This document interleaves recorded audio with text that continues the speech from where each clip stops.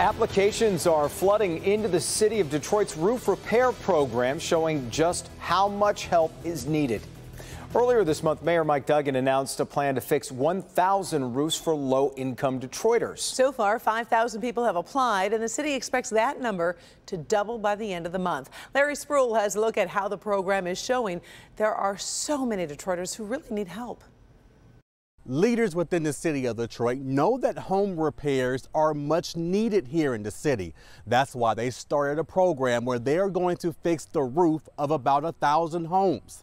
And yes, they know the demand for this program is high. This is like a 117 years old house.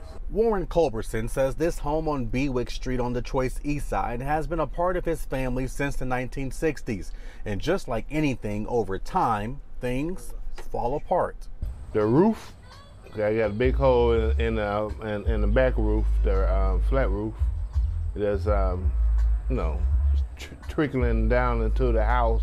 He says he recently got an estimation for roof repairs. The cost 11,000. Earlier this month, the city of Detroit announced a $30 million program to replace 1,000 roofs next year for low-income seniors and homeowners with disabilities. It's called Renew Detroit.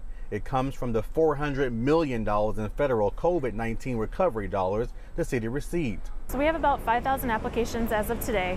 Um, the need is incredibly great. We know that home repair is a very, very important need in the city of Detroit. Detroit Chief of Special Housing Programs, Heather Zygmuntowicz, says there are other programs that can also help. They cover many different things. So there are minor home repair grants, there are major home repair grants.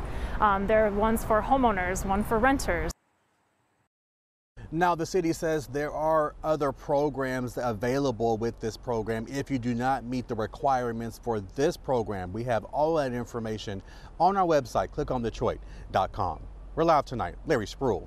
Local 4. Oh, Larry, you know after this story, folks are going to be saying, okay, I need information. So when's the deadline to apply? So the deadline for this program, Karen, is November 12th. Again, as we mentioned, they are expecting about 10,000 applicants by the end of the month for this program. But hey, if you meet the requirements, go ahead and apply. All right, love it. Thank you, Larry.